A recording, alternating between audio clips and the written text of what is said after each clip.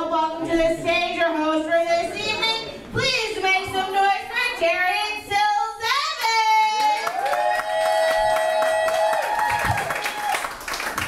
Welcome. How you guys doing? Good. Good. Welcome to Machine Gun Funk. I am Darien Sills-Evans, your host. We're going to be chilling and having a great time tonight. We know it's early, so get your drinks in. So we can all have a lot of good fun. What's happening in the news today? Uh, Apple is buying. Dre.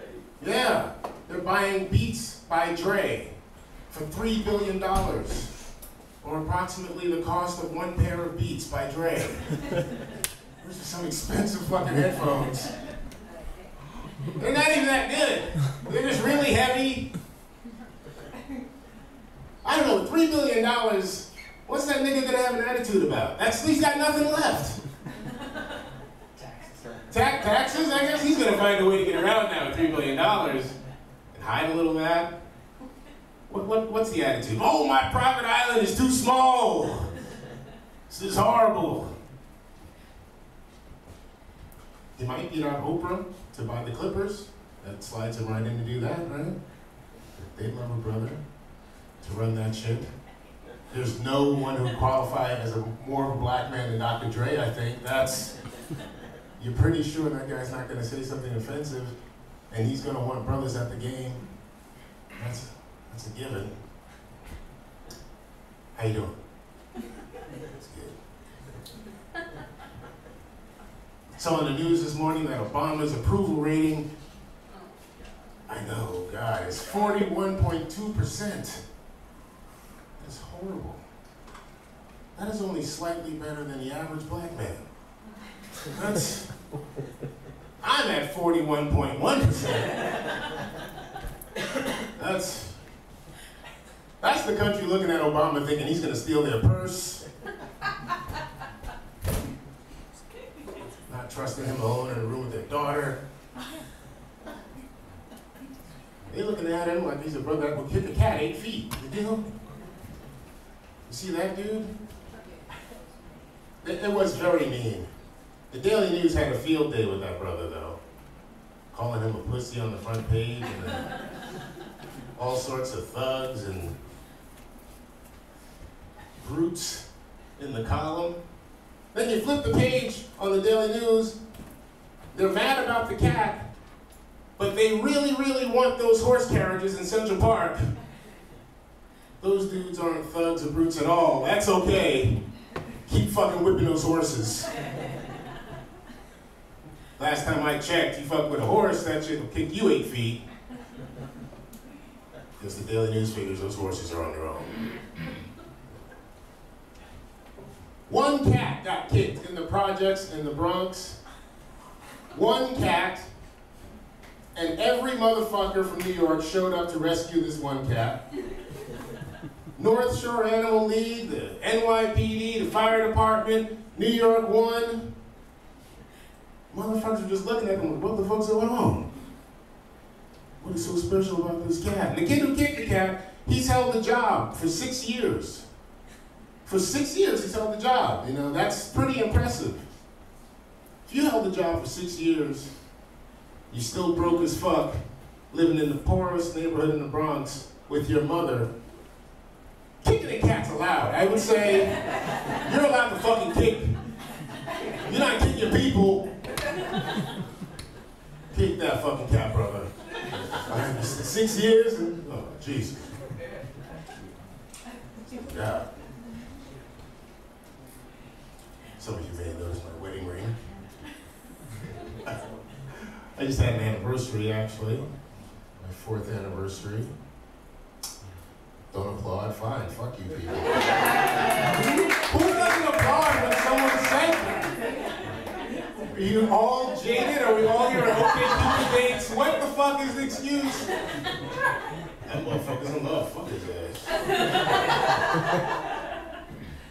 Oh, it's, it's a good thing. Four years?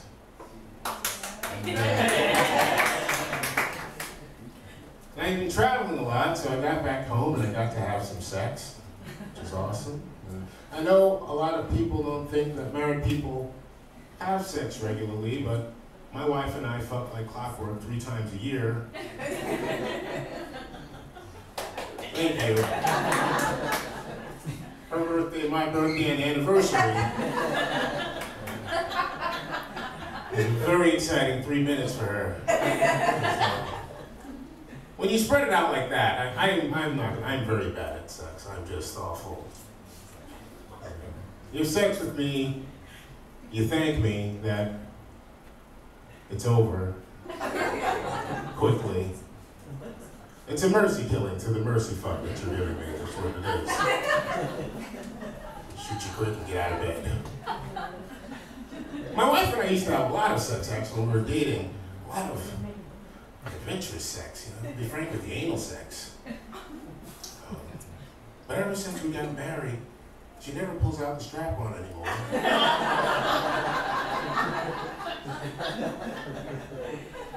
get married, you think it's gonna be strap on in your butt anytime you want it. She just came to lose his interest.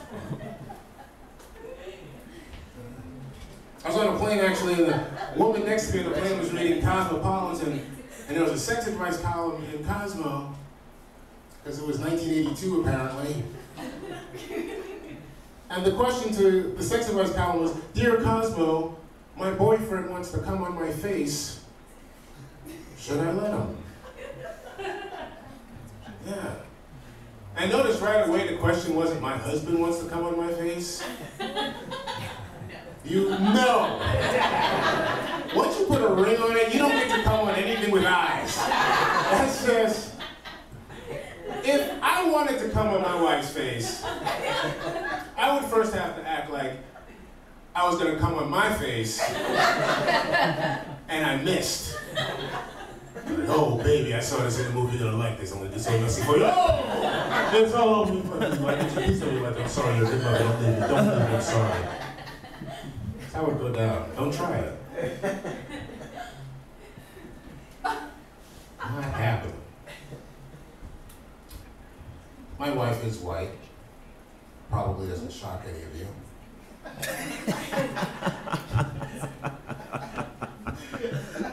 She's a really nice white lady. We have a daughter.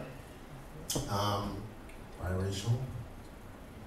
Very pretty. A lot of people about black people and white people getting together having babies. I call those people Nana and Pop.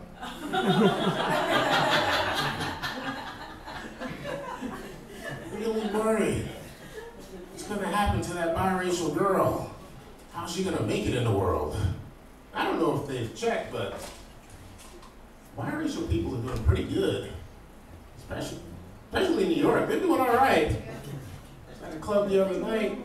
Biracial woman walked in, every brother dropped what they're doing. What the hell do you need, baby? I'll help you get rent. What do you want to live in Williamsburg? I got $3,000 monthly right here. Gonna help you negotiate this harsh town. with Your olive beige ass.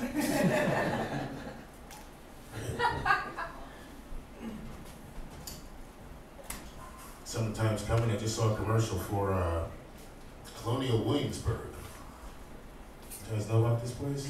You don't? Oh, you must go. In Virginia.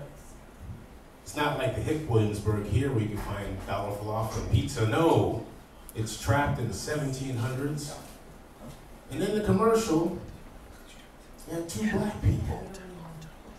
A couple, a woman and a dude, watching TV, and she says, Hey, look, Colonial Williamsburg, let's go. And he goes, Yeah, baby, that looks like fun. Let's do that shit.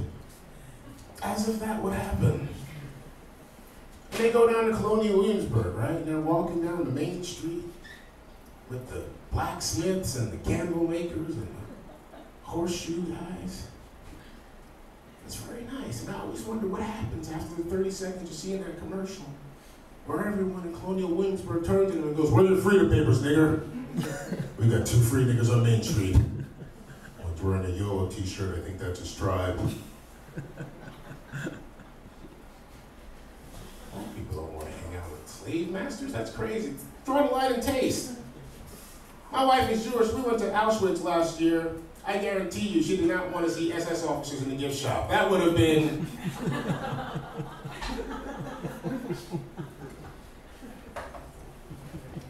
You guys ready? it's gonna be fun. this first time coming to the stage is a very, very nice dude. Just met him before the show.